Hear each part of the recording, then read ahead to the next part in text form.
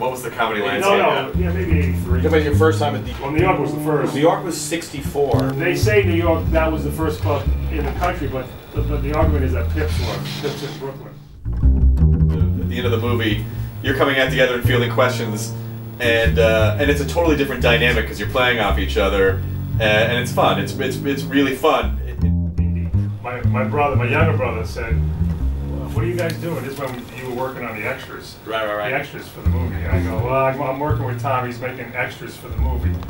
Extras for the movie? The movie is an extra.